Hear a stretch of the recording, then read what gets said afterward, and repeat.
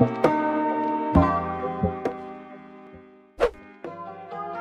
guys, di video kali ini aku mau nge-review satu produk yang baru aja aku beli di Shopee.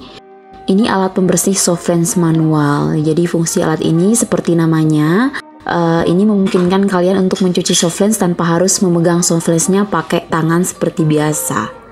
Jadi bisa lebih bersih karena kalian nggak perlu megang langsung soft lensnya sama sekali. Di e-commerce atau online shop, kalian bisa dapat alat ini dengan harga 10.000 sampai 20.000 rupiah dengan merek dan warna yang berbeda-beda. Yang punya aku ini aku beli dengan harga 10.000 aja. Itu belum termasuk ongkir ya. Langsung aja kita review mulai dari packagingnya. Alat ini dibungkus dengan kardus kecil kayak gini. Selain bubble wrap dari tokonya ya. Yang punya aku ini kardusnya warna biru. Aku nggak tahu apa ini menyesuaikan dengan warna alatnya atau enggak. Soalnya aku dapat ini juga alatnya warna biru. Untuk alatnya sendiri, dia itu terdiri dari dua bagian. Ada bagian tutup yang terhubung ke bagian putih yang ada di dalam itu. Dan juga tabung plastik keras yang transparan kayak gini. Kalau tutup yang warna biru itu diputar, otomatis bagian putih yang ada di dalam juga akan ikut muter kayak gini. Langsung aja aku buka. Jadi ini dia dua bagian yang aku bilang tadi. Bagian yang putih seperti sangkar ini adalah bagian untuk meletakkan soft lens. Jadi dia ada tanda R dan L. Untuk menunjukkan left dan right-nya soft lens ya guys, kiri dan kanan. Untuk memasukkan soft lens ke dalamnya, kalian tinggal ngebuka kait kecil yang ada di bagian bawah alatnya ini. Jadi ada dua ya guys, berlawanan arah masing-masing untuk satu soft lens.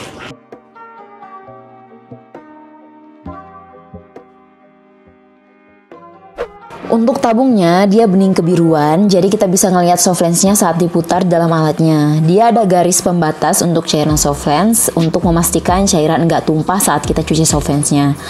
Nah, langsung aja kita ke cara penggunaan alatnya.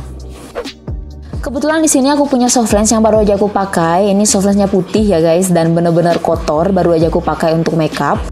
Pertama, yang harus kalian siapkan adalah cairan pembersih soft lens merek apa aja yang cocok dengan kalian. Aku di sini pakai merek X2 Comfort, soalnya ini cairan soft lens yang paling cocok dengan aku. Selanjutnya, tuang cairan soft lens ke dalam alatnya sampai batas yang ada di dalam tabung tadi.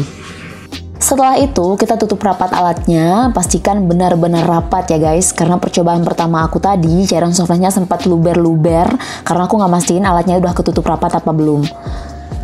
Kalau sudah begini, kita putar tutup bagian atas yang berwarna biru ini selama 5 10 menit. Kalau misalnya kalian mau 15 menit juga boleh. Biasanya akan muncul busa yang banyak kayak gini. Bersamaan dengan itu, debu, bulu halus atau kotoran yang nempel di soft lens kalian bakalan rontok.